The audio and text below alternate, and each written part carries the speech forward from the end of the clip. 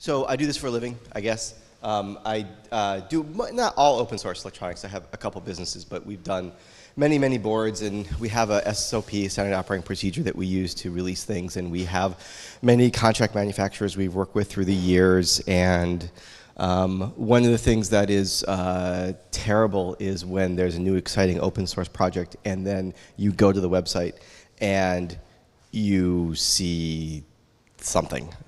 I don't know what it is, and we can't figure it out. And what CAD program do they use? And there's a bunch of PDFs, and why are there Word documents there? And so one of the things I want to talk about today is what files we need, and then finally some checklist stuff at the end. So what do you need to be actually open source? Um, went over this earlier this morning, but there is in fact a definition. Um, and the thing that's really important is the in such a way that anyone can make, modify, distribute, and use those things. And that is really, really, really clear, I think, about what that means. Um, so uh, what does that mean technically? Um, oh, I'll tell you if there's something that falls off the edge. Um, what that means is uh, technically that you could post a PDF of your schematic and you could post, or even a TIFF, something really awful, um, of your Gerber layers. Is there anything worse than a TIFF? I don't think so. Maybe like a J JavaScript script. Um, anyway, um, and then technically, yes, you are open source. You, that's all you have to say. Um, in, in, fact, you should have PDFs, right? You should have things that anybody can read without some damn CAD program. Who uses gEDA? Oh, you do not. Josh, you're such a hipster. For example, gEDA. Don't make me use gEDA. All right. Um, but the reality is, if you just post your PDFs, you're a lazy jerk, and we hate you because that's not really open source. That's what I would call read-only open source. That's kind of like the Raspberry Pi, but it's slightly better than Raspberry Pi because they won't give you their damn uh, Gerbers or anything, but they do give you a PDF of their schematic. You're not supposed to copy it. You're not supposed to do anything, but we'll let you have it. Um, so this is good for using and modifying, like hacking, but it prevents making and distributing, which is what is the core of open source. People extending what you've done. Um, so uh, what if we just give them a CAD? Give them the source schematic and layout, then we're done, right? Nope, you're not. Um, so the one thing that people don't talk about, and it's our dirty little secret because we're all bad at this, is the license file. Um, if you don't have a license file, it is not open source, period. It is some bizarre, nondescript copyright thing that I can sue your ass over in 13 years or 12 years or whenever the copyright stuff is up. So uh, do not release something without a license, period. Even if the license is, you may not use this. That's better than actually no license whatsoever. Um, and uh, you really, really need to include it. Because it's, when people say, oh, it's on the web, it's free, it's not. It's really not. It's still subject to copyright, subject to all sorts of things. Um, so I'll pause while you guys go check your repositories for license information. Um, so which one do you use? I can't help because I'm not a lawyer, right? Um, there's uh, OSHWA recommends uh, copyleft, hardware specific and permissive ones. Um, I, I really like the CERN open hardware license. It's a little weird, uh, damn Europeans, but I kind of like it. Um, otherwise, I just use the GPL. And, and that's fine. It kind of captures the spirit of what I want it to be. Um, on, on, the other hand, if you just don't care, that's what the MIT and FreeBSD license is for. it's like, yours, don't care. Don't blame me when it catches fire. All right. So now PDF schematic layout, source schematic layout, license, done, right? Yeah, maybe, but you're still a lazy jerk. So the real thing you need next is your build materials, right? If you want someone to actually use your, use your open source thing or hack your open source thing or really use it, you need to tell them what U1 is. A 7805 on your schematic is not a 7805. It's a 78L05-T6-6, right? And if it's that one, then you know you have to have a low, e, a low e, uh, ESR uh, on your caps or it's going to oscillate, right? So we know that, but you don't know that. And so you know that's why you have a bill of materials. You're specifying things. Um, and you're going to commit this. And yes, for the software purists, this is a build. Uh, file, right? It's, it's built by your CAD program. But that's okay, we don't care. It's a build product and we're gonna commit it anyway. Because there's more information in the BOM than just the CSV that's generated by your uh, CAD program. Um, uh, when you have completely automated the process and you can type make, then you can get rid of it. but then I need to be able to recreate it by typing make at my command prompt with all the damn dependencies I have on Python 3 and the do it, etc. So don't do that. Um, Bill of materials enables people to make your board. Uh, and specifically, if you have a contract manufacturer that's going to make your board, you need bill of materials. They're not going to go into your damn source materials and pull out what R5 is. You need to give it to them and you need to specify what that is. Um, most importantly, this also includes do not place or no place components. If they don't see a component on their board, they may just assume. They may look at your schematic, they may do other things, so make sure you've got the DNPs in there. Um, and finally, include comments in your bill of materials. That's uh, like a description and why, not necessarily why you chose the part, but what's important about that part. Yeah. Uh, do not place. Oh, so you might have a bunch of resistors and capacitors that make a filter, but you know you really don't need that. And so you may place them on your circuit board and in the schematic, but not have them stuffed by your contract manufacturer. You may just leave them off because you don't need them. Uh, so that would be a DNP.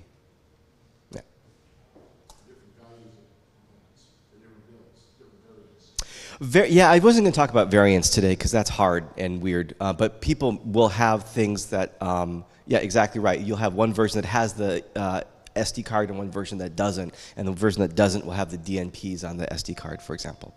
Uh, but there's there's more weirdness variants because now you've got things that may be DNP or resistance one or resistance two. You, you know, it gets complicated. So, um, what's in your bill of materials? Well, no one talks about this, which is dumb. Um, so uh, I, at the beginning, I had a link to a um, my uh, GitHub repo, um, and you can just download this. I've got three different um, uh, proposed uh, things, build materials. Um, one's minimal, one's preferred, and the one's totes pro. Um, and let me uh, bring them up for just a minute, if you don't mind. Um, sorry, I gotta talk with one, type with one hand. All right. So here's the minimum, right? And this is what we're used to. You guys can't see that. This is what we're used to from almost all open source projects ever, right? It's the number of uh, components, it's the number of refs, it's the manufacturer and the manufacturer part number. Now, one of the things that you're, uh, if you use, e who uses Eagle? Who uses KiCad?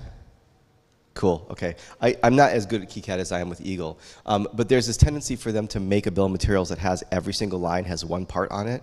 Don't let it do that. You really want one line per physical component that's going on your board. So you've got a count, you've got the refs that uh, do it, manufacturer, manufacturer part number. This is fine. This will get you, you can go to DigiKey, you can go to Mouser or whatever, you can buy this, right? And you can put that in the CSV file and, you know, I'm gonna, I'm gonna give you a pass, right? but what you really want is you really want this. Um, and I, uh, let me see if I can make this bigger. You want uh, your count, you want your refs, manufacturer, and now you want a description. What is the GRM155R71C104K888? I have no idea. Oh, it's a 100 nanofarad 0402. Okay, fine, right? So this is not as important sometimes as this. The other thing that's really important that you see there is the 16 volts. So what are the specs of this component? If you say 100 nanofarad capacitor, I'm going to assume I can put a 6.3 volt part, even though it's got a 50 volt buck boost converter, right? And then it actually explodes. Like, let's not do that, right? So um, the uh, once you get the description, there's this column here called generic. And that's a kind of a weird one. The generic column, I don't, I don't know what a better name for it is, is is this part generic or not? Is this 100 nanofarad, 16 volt, 0402, and I don't give a rat's ass where you get it or what the manufacturer is or anything? And the answer is yes, this is just a bypass cap. I don't care what it is. As long as it's 16 volts and 100 nanofarads and 0402, you're fine. So I would call this a generic part. Now I've got this inductor down here that's a specialized inductor that is for my switching power supply. That's not generic. You can't just pick an inductor that might match this. You could have capacitors that are not yeah, that have certain voltages. You could have um, inductors with certain uh, self-resonant frequencies. This is you telling your user, "Hey, don't mess with this. You're gonna screw it up." Um, and then finally, there's this idea of custom. A lot of people don't like putting the circuit board in the uh, bill of materials. I'm a strong believer in actually doing that. It is part of the bill of materials, um, and also it identifies maybe a version um, and describes what it is and who makes it. Thank you, Osh Park. Okay, and uh, uh, what else? Uh, so there you go. Those are the generic vendor and then vendor part number. And that's different, of course, than the manufacturer. Manufacturer part number. Do you need this? No. Is it useful? Hell yes, because it's a cross-reference, essentially. And I can now go and literally just put that in DigiKey and order it. All right. And then finally, if you're into the Totes Pro thing, um, if you work with uh, contract manufacturers, you know that they're OCD and unforgiving. And so uh, they like index numbers because you don't want to tell them because they do. I don't. I still don't understand. Um, this is something they also like, which is they want a reference for your organization. So if I'm org, then this is component org 001. Now if I have eight boards and they all have 100 nanofarad capacitors that I don't care who, what they are, they're all going to be org 001s. So they're going to, if I have eight boards at a contract manufacturer, they may only have, you know, not eight times n parts, but one over eight n parts if they all use the same thing, right? It's, they're all going to be able to cross-reference to this internal part number. So it's a little weird and a little awkward, but it actually shockingly works.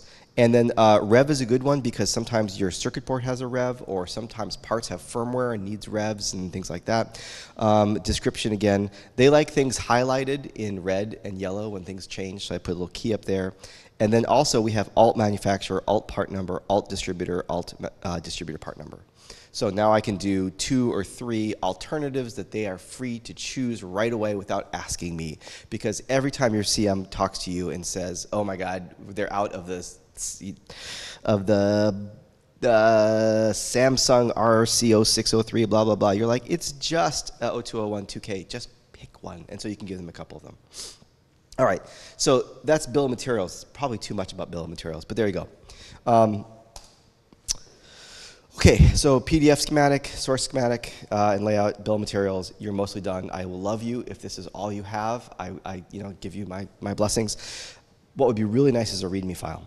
Um, and uh, what is a README file? Um, well, uh, GitHub will make you one for free, uh, and it's a name and a quick description, uh, who you are and your contact information, what the license is, because the README file is maybe the only form of documentation your user is going to have.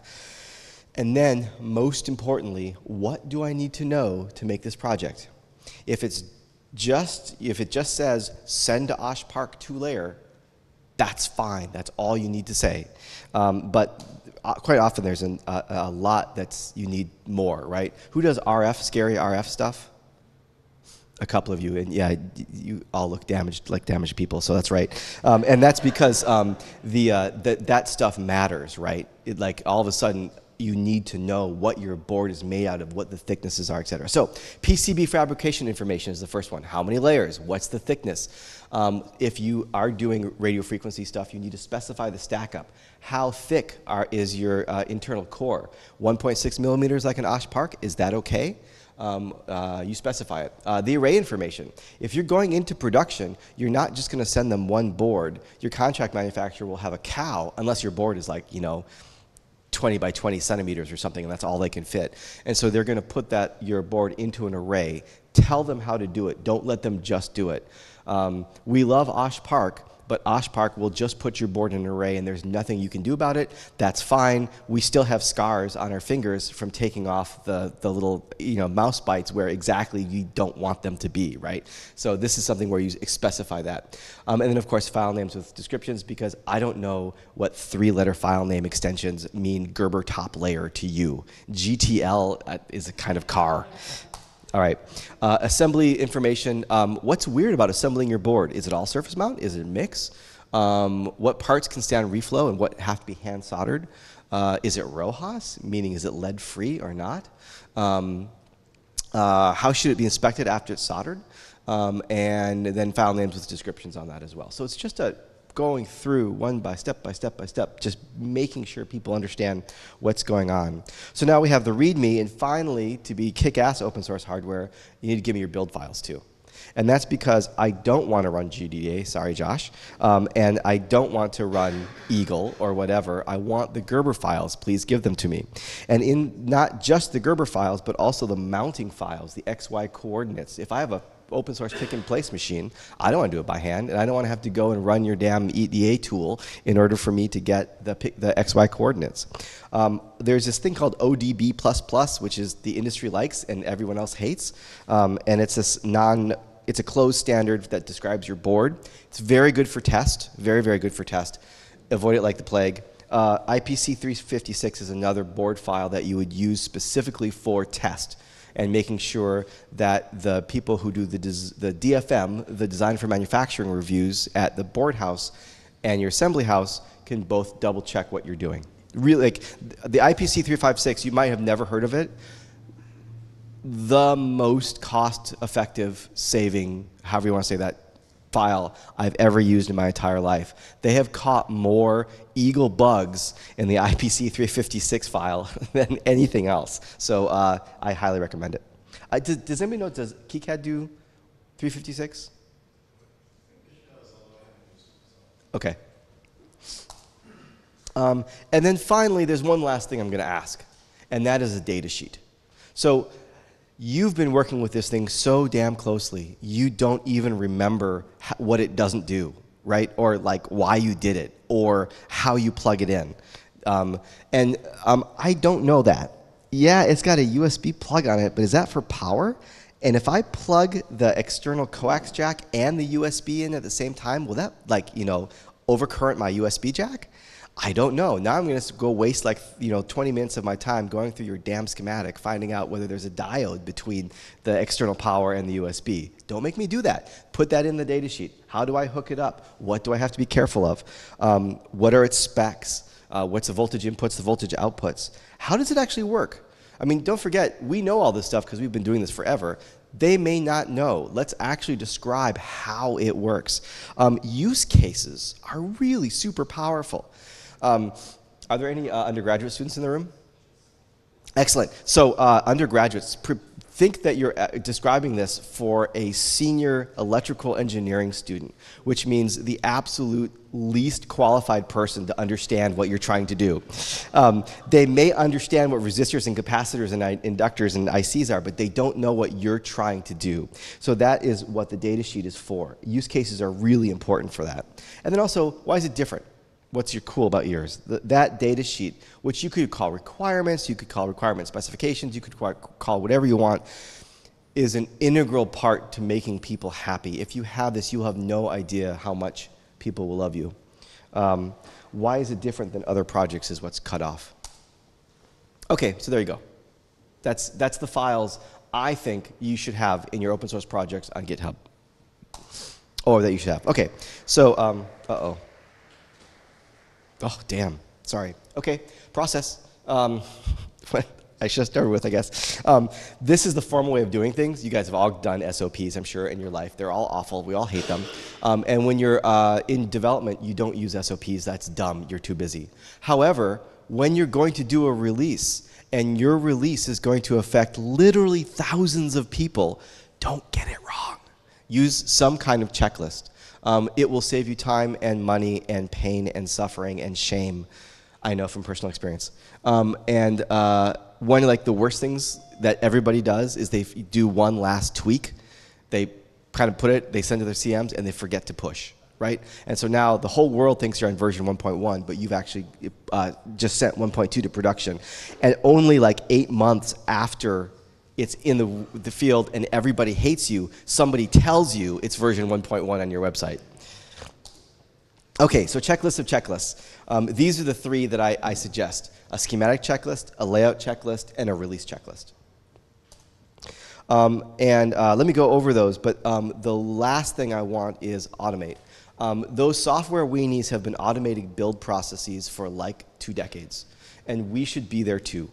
Um, and so the fact that you know we have make, which is awful, and you can blame the software people for that, um, but it exists. Um, and your CAD file, especially KiCad, is scriptable. Let's use that. Let's make a make file that reproducibly builds build materials, reproducibly builds Gerbers and Excellons. Um, and then also, maybe there's a tree that divides these things up. So everybody, everything you need for the fabrication files for your board house goes in one folder. All your documentation goes in another. You can print to PDF using the make file. Like, like let's, let's do this, right? Let's be able to type make and then make push and then be done. All right. Um, and the last thing says, some pain now will forever make release easy and reliable. All right. So uh, what our checklist, and then I will let you go.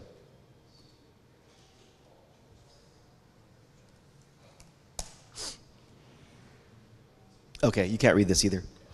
Um, this is a schematic checklist. Yeah, you can kind of read that. It is a thousand things. They're all dumb. But one of these dumb things will save your ass. Um, and I don't know which one it is. For me, it's always like, you know, don't forget to run the ERC, the electrical rule check, before you push, right? Um, uh, but things like parts values, special case capacitors marked with power and tolerance. Who forgets to do that? I do all the stinking time.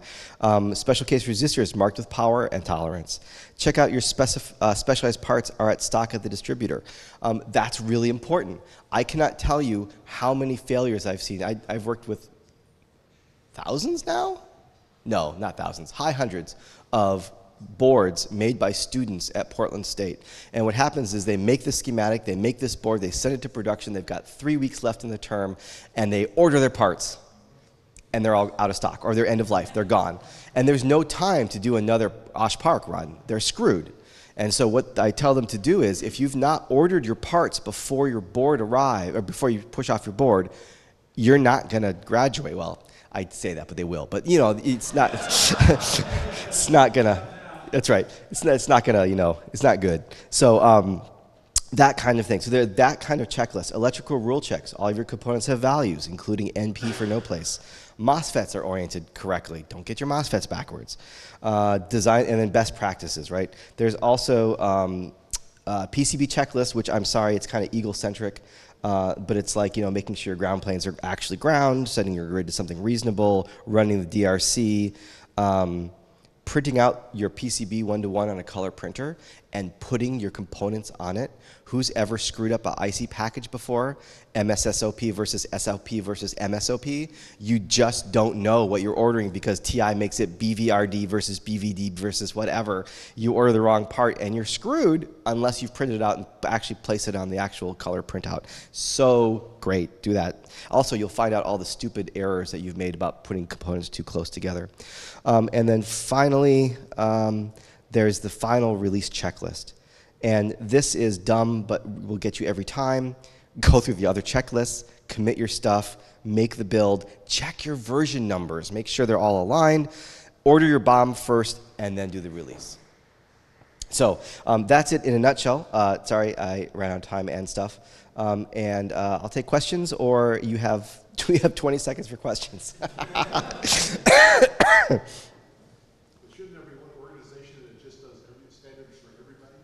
Yes, wouldn't that be great? I would love that, especially hardware standards. We have lots and lots and lots of um, commercial companies really happy to make standards that are good for them and bad for everybody else. So it'd be really nice to have an open source standards organization, which I thought OSHWA was going to do, but hasn't yet. But one day we'll force them to do it. Thanks, guys.